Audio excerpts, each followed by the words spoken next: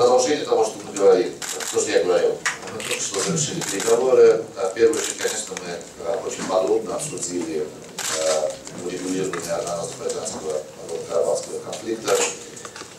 Украина как действующий председатель, и я очень рад этому, держит этот вопрос урегулирования постоянно внимание, хотя и называют его замороженным конфликтом, но, как вам известно, на линии соприкосновения происходит чуть ли не ежедневно вооруженные столкновения, в которых люди.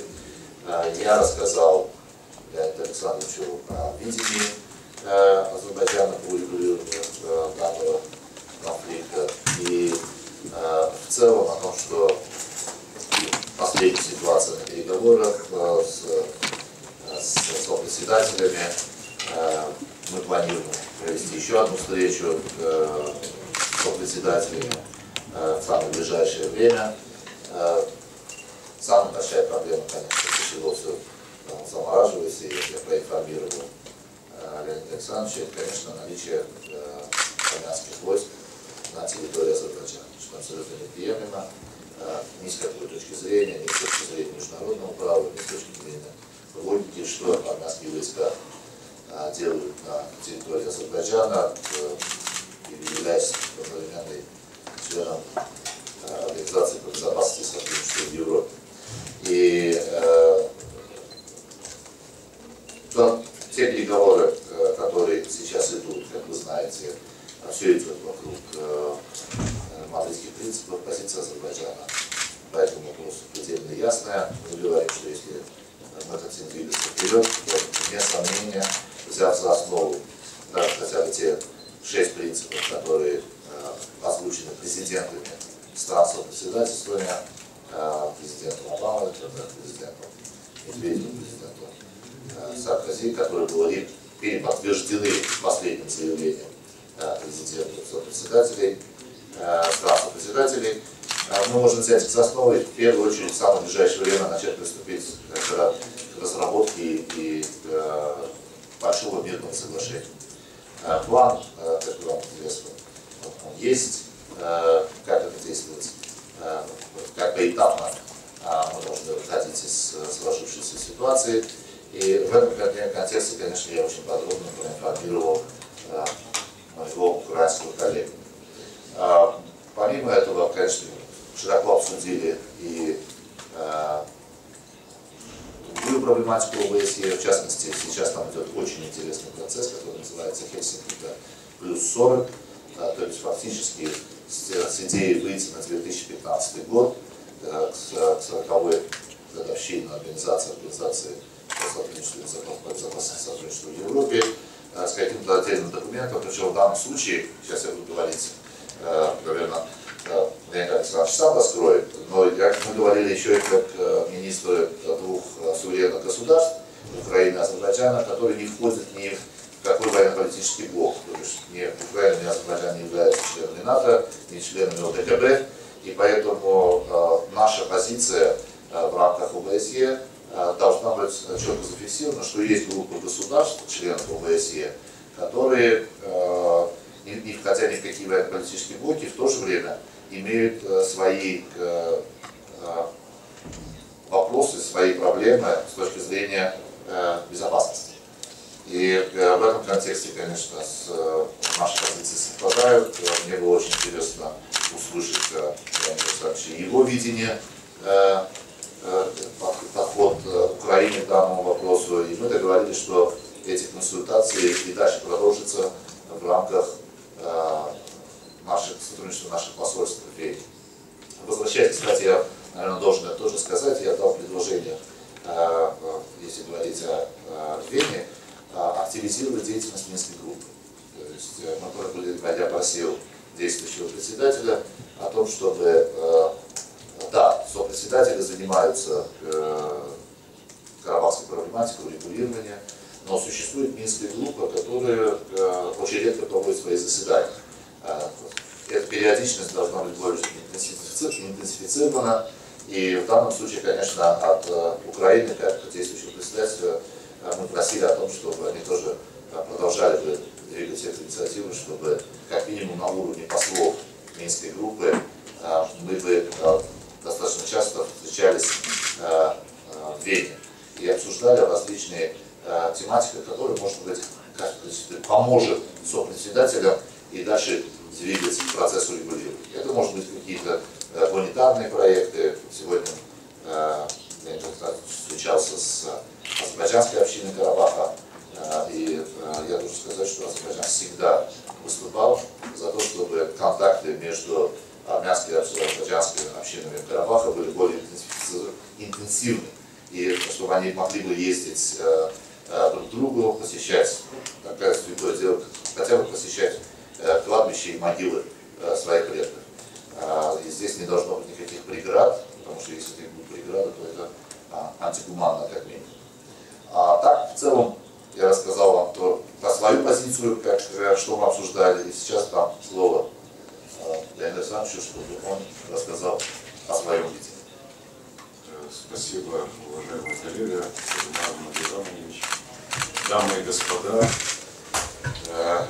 Я сегодня с большим удовольствием посещаю Азербайджан, и не только как министр иностранных дел Украины, кстати, это мой первый министр, визит в таком качестве, да, но еще как председательствующий в ОБСЕ. Я полностью согласен с моим коллегой.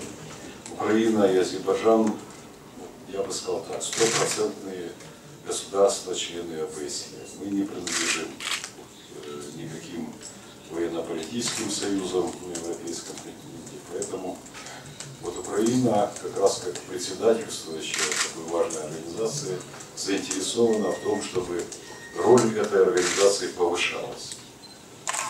И э, сегодня э, в рамках ОБСЕ существует так называемый процесс Хельсинки плюс 40, который сориентирован на э, то, чтобы достойно встретить 40-летие такой важной организации. И э, мы активно работаем в рамках вот этого процесса. Э, мы считаем, что, конечно, после того, как распался Советский Союз, в последующие годы э, организация начала утрачивать свое главное значение как самого важного форума в Европе, где обсуждаются вот именно проблемы безопасности.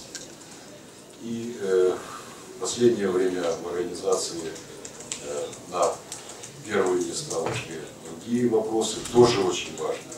Это и права человека, э, это и наблюдение за выборами, это и экономика, и экологические разные аспекты, но, тем не менее, сама суть организации, она отображена в ее названии. Организация по безопасности и сотрудничеству в Европе. И э, мы нашли полное совпадение здесь взглядов, позиций Украины и Азербайджана. Конечно, один из самых главных вопросов для украинского председательства это вопрос урегулирования так называемых замороженных конфликтов. И для Украины замороженные конфликты это не пустое слово. Если вы посмотрите на карту, вы увидите, что Украина окружена такими конфликтами со всех сторон. У нас э, на западе, например, 1200 километров э, границы с Молдовой. Вы знаете, 22 года назад была война в Молдове. И беженцы – это десятки тысяч людей, которые из района Приднестровья бежали от войны. Они бежали э, в Украину. И Украина решала потом проблемы этих людей. На востоке от наших границ тоже очень близкие нам братские страны находятся. И тоже очень много таких конфликтов. Я уже был в Грузии недавно. Сегодня я посещаю Азербайджан. Проблемы урегулирования азербайджанско-армянского конфликта тоже нас очень волнуют. Мы поддерживаем деятельность всех существующих механизмов. Кстати, наша позиция по усилению роли ОБСЕ – это позиция по усилению миротворческих усилий в ОБСЕ. И мы поддерживаем деятельность Минской группы, их сопредседателей. Мы тоже желаем большей активности этому формату переговоров. Мы также поддерживаем развитие гуманитарных э, контактов, потому что очень часто, вы знаете, э, когда э, вот такие случаются военные противостояния, то страдают прежде всего простые люди. Мы знаем, что каждый такой замороженный конфликт впоследствии в своем имеет э, исковерканные судьбы многих людей, и такие раны очень долго не заживают. Это все мы видели на примере э, конфликта в Приднестровье, и я встречался с азербайджанской общиной. Поэтому мы будем всячески приветствовать всяческое развитие гуманитарных контактов и контактов гражданских обществ. Мы считаем, что общественные организации Азербайджана Армении могли бы чаще общаться.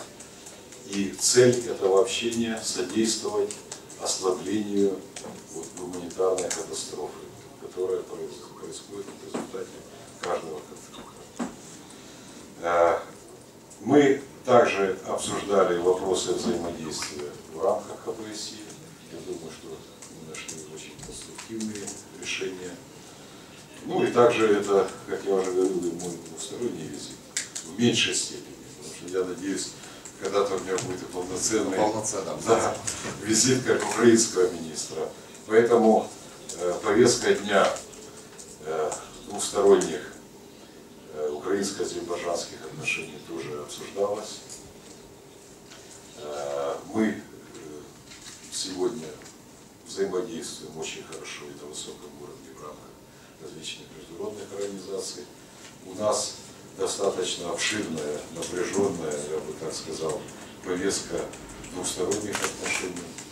Так что вот такой большой круг вопросов мы начали, я хочу сказать, обсуждать, потому что мы еще сегодня продолжим.